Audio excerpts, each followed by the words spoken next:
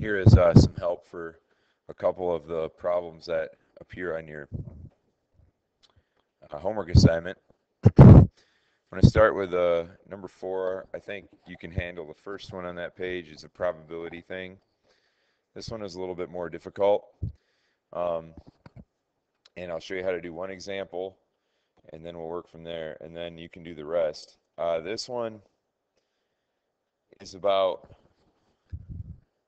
a dihybrid cross where you have this kind of thing.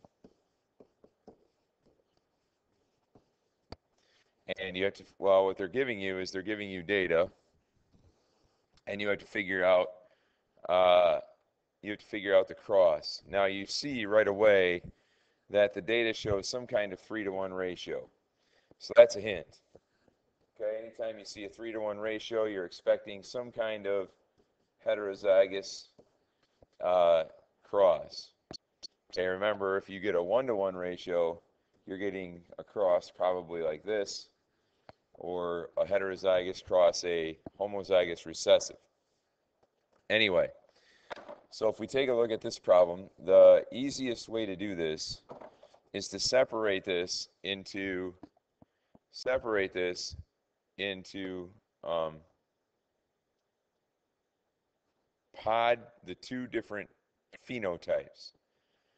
So according to this, in sesame plants, the one pod condition is dominant to the three pod condition.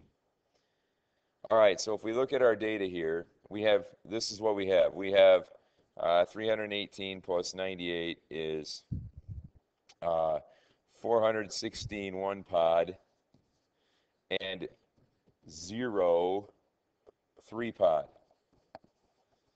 So that tells us that, well, if we think about that a minute, that means that the phenotypes of the offspring here, in the one pods, all of them have at least one big P. Okay? So our question wants us to determine the genotypes for the two parents for all possible matings.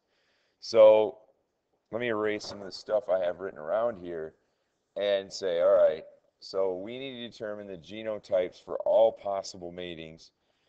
So we know right now that the child here has one big P and we're not sure about the other one. So let's leave that for now. Okay, so well, what that means then, because this was all one pod, we had to have either this or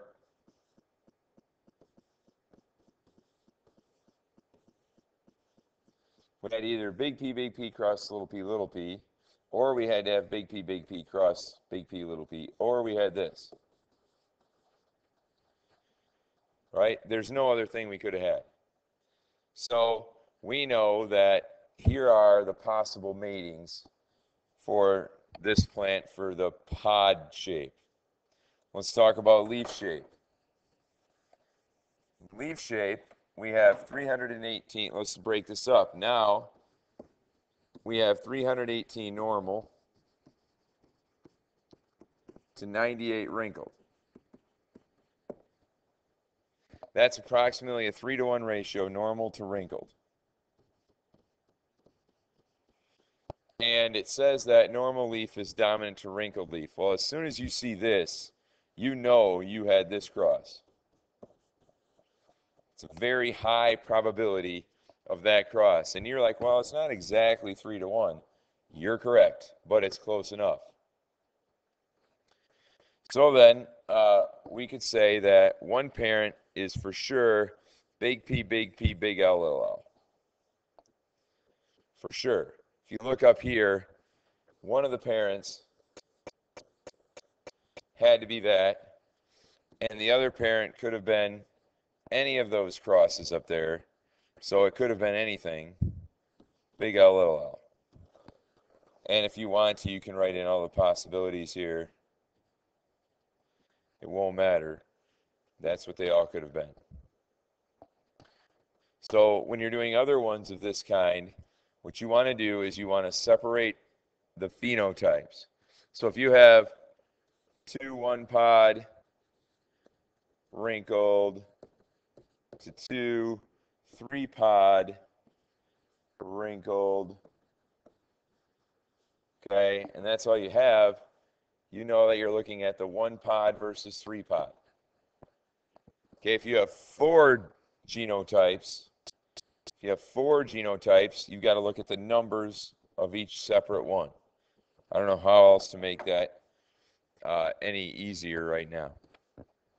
Uh, blood type is another one that gives uh, people trouble. Let me scroll down a second. And I'm not going to tell you the answer to this, but I am going to tell you that uh, blood type is an example of multiple alleles, where big A equals type A, big B equals type B,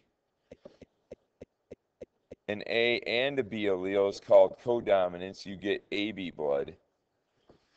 And the recessive is O. Then the book, they used capital I A, capital I B, and they use they use uh, lowercase i.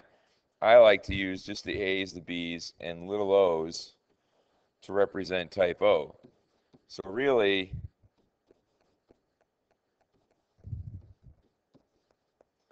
this is the situation. If you have big A, little o, you're type A. If you have big B, little o, you're type B. If you have two big B's, you're type B. If you have an A and a B, you're AB. And if you have two little O's, you're O. That might make that problem easier for you.